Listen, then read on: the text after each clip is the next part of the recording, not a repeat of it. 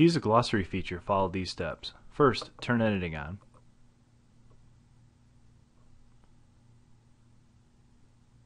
Next, add an activity and select glossary.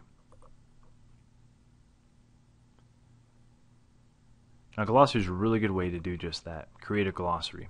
Typically, in a textbook, the glossary sits at the back of the book. Um, it you can't edit it or change it. It's just kind of there. Um, it's it's just used as a reference tool.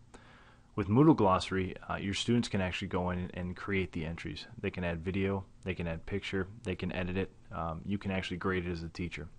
Um, additionally, you can also use the glossary feature as kind of a FAQ, um, frequently asked question um, feature for your parents or students. Um, you could also use it uh, as a getting to know you activity on the first day where a student might enter their name and then some information about themselves, and that kind of stays within Moodle, which is kind of cool. Um, so let's take a look at how to do this. Uh, I'm going to uh, just kind of pretend here I'm making a World War II glossary. I'm going to put something like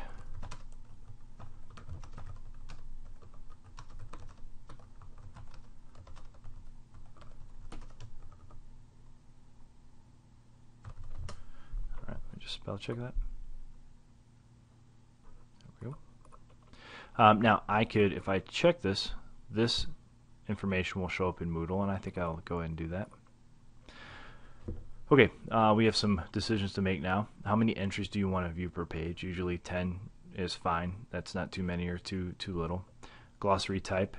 A main glossary is an overall glossary that will automatically link all of your secondary glossaries to. So if you add secondary glossaries, say to each unit, you could still have a main glossary, and all those entries will ultimately go to that main glossary. Uh, feel free to play around with it, see which one works best for you. Duplicate entries allowed. If you select yes, students will be able to add more than one. Let's say I had uh, Mussolini as an entry here. You could have more than one entries on Mussolini.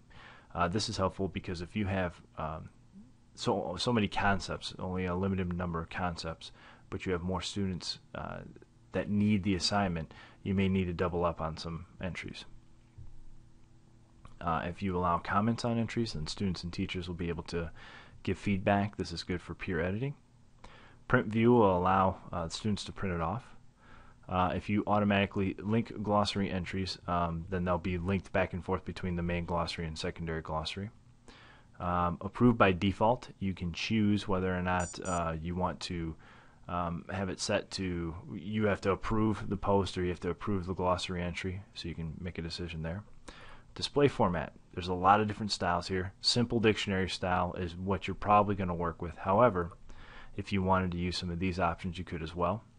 Um, feel free to play around with these and get a feel for which one you might like uh, the most. The one I pointed out before was the FAQ. This is kind of a, um, you know, what is what is my policy on homework?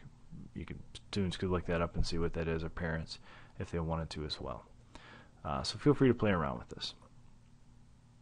Um, leave all of these the same, and edit always is the last kind of decision you want to make, and that's going to um, at, at one point, at some point, um, the glossary will be closed off when the activity is closed, meaning that um, you won't be able to edit it any longer. So that's just what that is. All right, going back to ratings, you can grade um, glossary, uh, glossary entries. Uh, to do so, changes from no ratings to whatever it is that you want. Average of ratings, count of ratings, maximum, minimum, all this type of stuff. Whatever you wanted to choose. I'll just choose average in this case. Your grading scale uh, is the one that you typically see in Moodle, so you can choose whatever you like there. Um, you can restrict uh, the items uh, within date of the range. If you check this, then after some point, after one point, uh, whatever date you set here, the 2, uh, won't be able to be graded anymore, edited, or anything like that. The glossary will essentially be closed. So, all right, when you have all that set, go and click Save and Return to Course.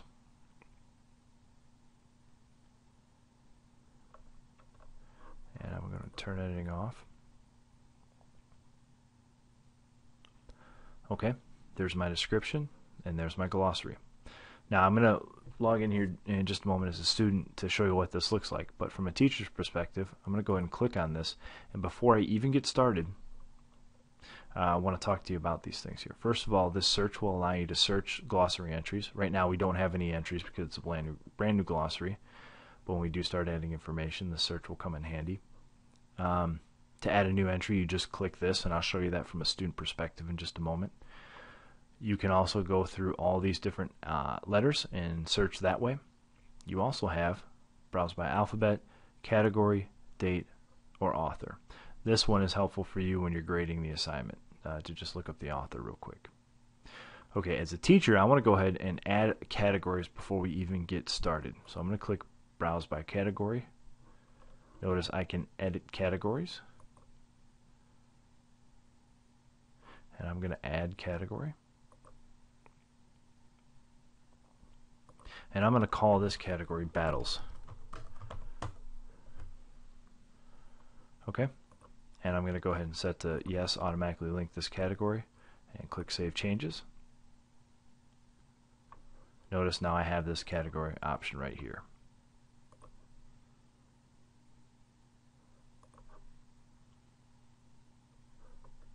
okay so if I click categories when I click all categories I have battles now alright now I'm going to log in as a student and show you how to add an entry from a student perspective. Okay, so now I'm logged in as a student and I want to go ahead and add an entry. The entry that I'm going to add is, is D-Day. I'm just going to provide some information about D-Day.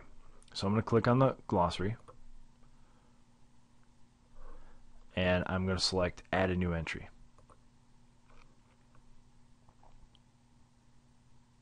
Okay, concept will be D-Day and my definition is going to go here. Before I do that, I'm going to select my category. Um, so now it's going to come up under battles, and I can put what D-Day was. Now I can just put, I'm just going to put,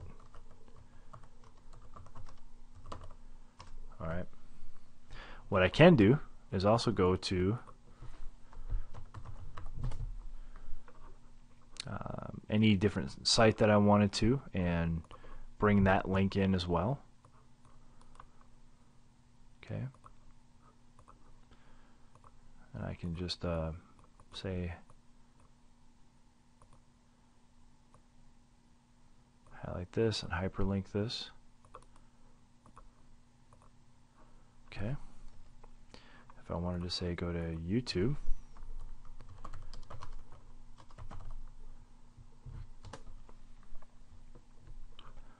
um, I could take a look at this. And if I wanted to. Go ahead and embed this um, video in as well. I'll just take my share options here. Go to embed. This anymore. Um, toggle HTML on.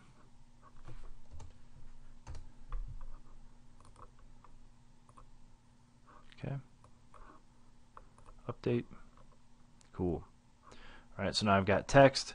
I've got a link, I've got video, I could put a picture in if I wanted, all this kind of stuff.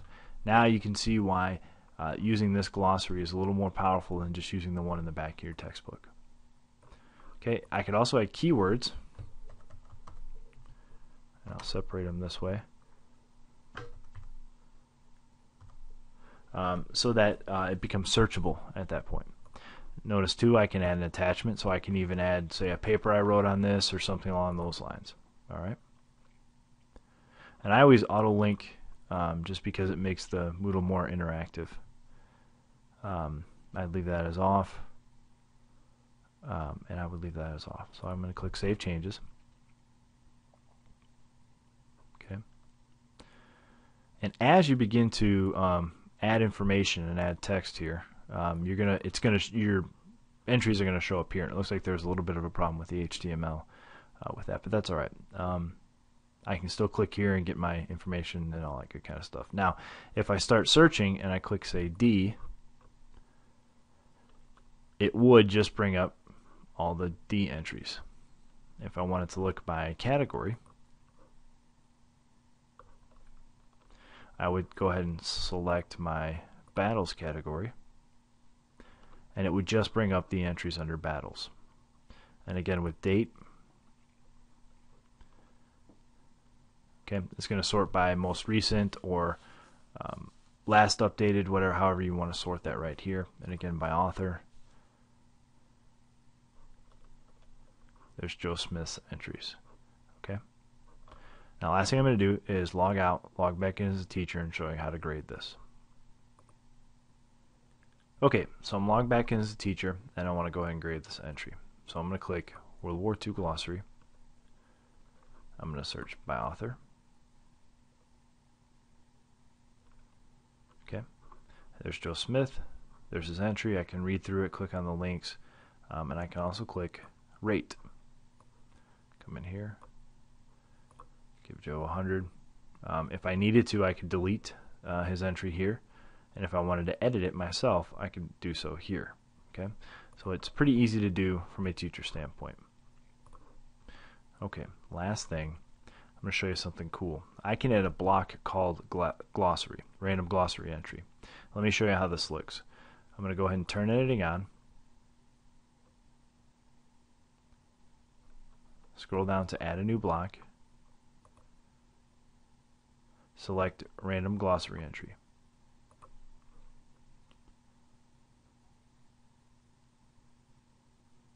Okay. Go back down and configure the block. I'm going to do so by edit, clicking edit. Um, it's got one glossary. Uh, I'm going to call this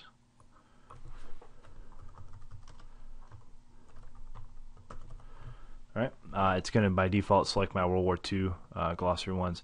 Days before choosing a new entry, zero. Um, I can change this to like keep an entry up for five days. Um, just a random entry or last modified or next entry, however you wanted to, to pick, but it's going to pick an entry from your glossary and post it on the side of your your um, your course. Do you want the concept to show yes or no? And really the rest of this you can leave as is.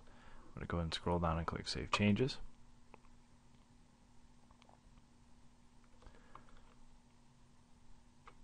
Now notice, here's my D-Day entry. And if I had more content, it would show up there. Um, so it's kind of a nice way to, um, I guess, enrich your Moodle course. You're taking something that was created right here and having it show up right here. And if I didn't like it there, I could also move it. Go ahead and show you what that looks like. Say up to here even. So now every time a student logs into the course, they're going to see an entry that was created by one of their uh, peers. Pretty cool. Okay, so this has been how to use the glossary feature in Moodle 2.